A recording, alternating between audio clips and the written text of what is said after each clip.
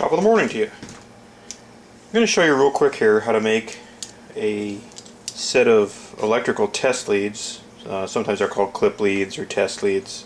Doesn't matter. Um, these are kind of the backbone of the electrical electronics industry as the modern office still has its paperclip. The uh, electrical industry has its test leads or clip leads. And uh, you can get these little clips down at the car parts store, or you can order them online.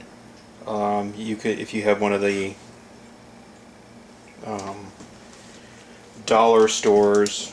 Sometimes you can find them there, or the what I call a dollar or the crap tool store. They have them there. They're not very expensive. Um, the nice thing about making your own, you can buy test leads, and they range from almost unusable crap to uh, probably pretty nice uh, professionally made ones that are I've seen them as high as ten dollars a lead. Uh, there's nothing to stop you from uh, doing that but uh, I find I have a little more pride in my equipment if I make some of the tools myself. So what I've done here is I went and I've got uh, two out of the box. And this wire is some uh, 16 gauge stranded wire uh, you can buy that again at the car parts store or electrical supply house. Actually, um, about a month ago I wrecked out an old washing machine and before I uh, took it to the salvage yard I stripped it and it yielded about 20 feet of uh, multicolored wire and this happens to be uh, black or yeah, black wire and a white wire with a red tracer I don't know, I find that the different colors help me keep track of things when I'm working on it. Anyway, I'm going to show you how to solder these up real quick. Um, you'll need some solder also. And uh, I find that uh, I have better luck with uh, one of the bigger soldering guns. You can use a soldering pencil or a little soldering iron. Um, this particular one is a uh, this is a Weller D550. Don't run out and buy one just to make some clip leads. This is one I just happen to have close at hand. This one's actually a Powr-Kraft. It was branded for uh, by Weller for wards. There's a number of these floating around. Anyway, uh, first thing you do is go ahead and pull the boots off and one of the things you may want to do is look the boots over, make sure there aren't any rips or tears, or sometimes the tips don't get cut off to open that on. And what I do is I go ahead and slide them on the wire. I've went ahead and stripped this wire back already. It's stranded, and I used uh, a Leatherman. It has a little stripping attachment in here. Excuse me, I guess I how about help if I open that up? It has a little stripping attachment. You can use a wire stripper or um, whatever you got at hand. And one of the things I've found over the years that helps quite a bit, if you want to, there's nothing to stop you from getting some flux and putting a little flux on each one of these joints. It won't hurt anything. It might help you. I take these little crescent wrenches and just clip the leads on the end there and there's a little hole and there's little fingers there. And what I do is I twist the wire up and thread it through the hole and then lay it down throw the Leatherman on there. And let's try that again. Go ahead. And what that does is it kind of bends that wire back and kind of pinches it up against the body of the test lead. So it makes kind of an L shape, goes across the test lead through the hole and back across the test lead through those little fingers. Then what you do is get your soldering iron and go ahead and get it warmed up.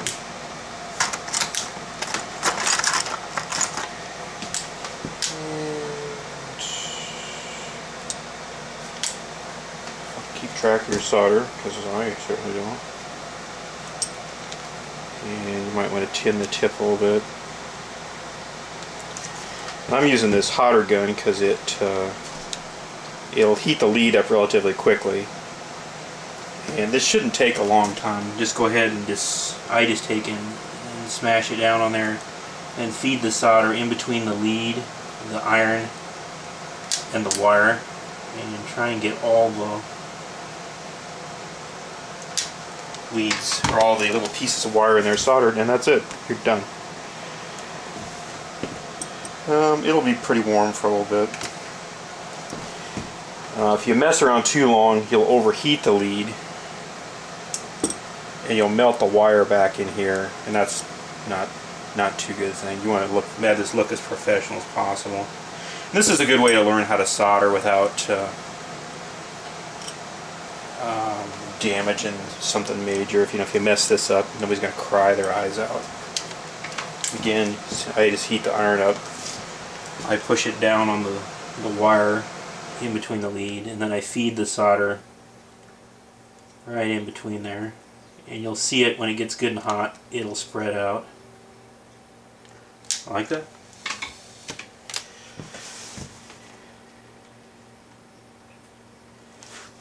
Okay and if you noticed I made a tiny mistake I didn't put the boot on that one but this isn't a big deal because I've got this, uh, I haven't put the other end on.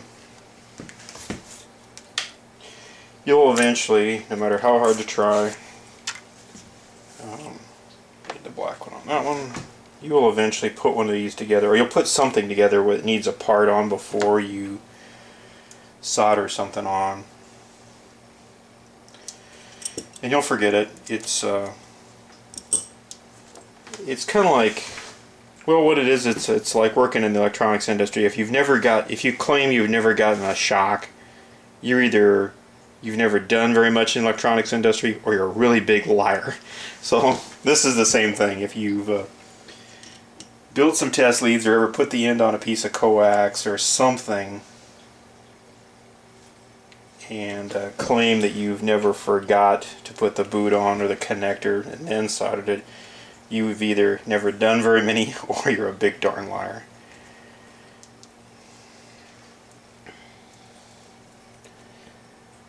And this really doesn't take very long. It's kind of a rainy day thing. I try and keep up on this. I uh, I probably lose as many leads as I make, or they get damaged or squashed or burned up like I said, they're kind of the paperclip of the electronics industry, and so they're somewhat disposable. The nice thing about this is you can use heavier wire. You can use you can buy some bigger clips if you want. You can buy different colors.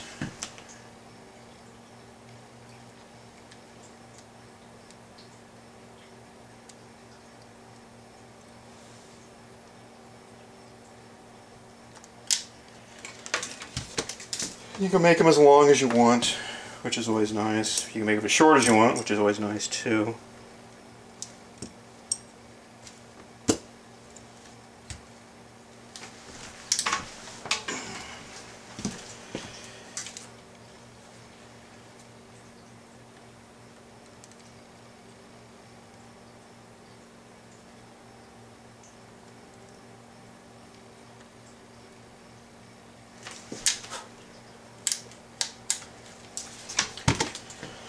There we go.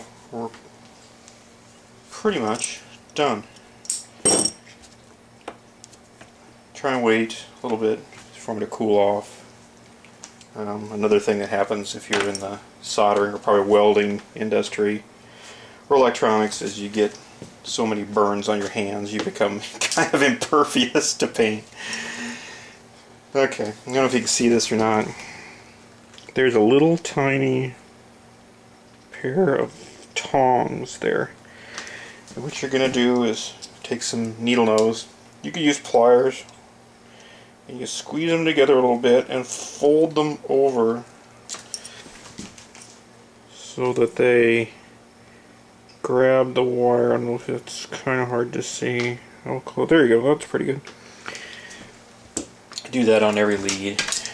It just secures the wire Uh, if you do that step ahead of time before you solder the wire, what happens is the heat from the soldering iron and the clip melt the wire and it loses tension. Then you just slide those boots on there. I find that if I open them up, you, they slide on a little quicker.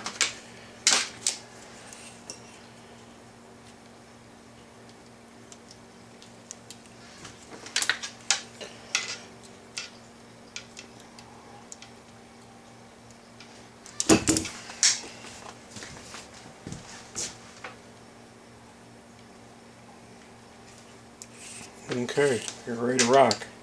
That probably took, I don't know how long. I didn't plan on editing this because I was hoping that uh, something might potentially go awry. You'd see what happens in the real world. Uh, nothing personal, but a lot of videos, they, uh, they edit them down and they edit out the mistakes. Well, then when a mistake happens, you don't know what to do. Not that you would probably have a big mistake on these. And there you go. You got some nice test leads to work on your car or whatever. Anyway, if you have a question, uh, feel free to ask it. Uh, if you want to leave a comment or you can join my channel. I'm probably going to be doing more uh, things. I've found that uh, people have a pretty positive response to these kinds of things. They've never done them before, or they want to see how somebody else is potentially doing them.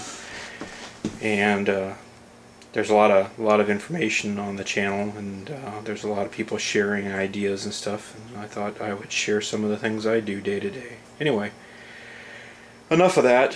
Have a good day, and go make yourself some test leads. Thanks a lot. Goodbye.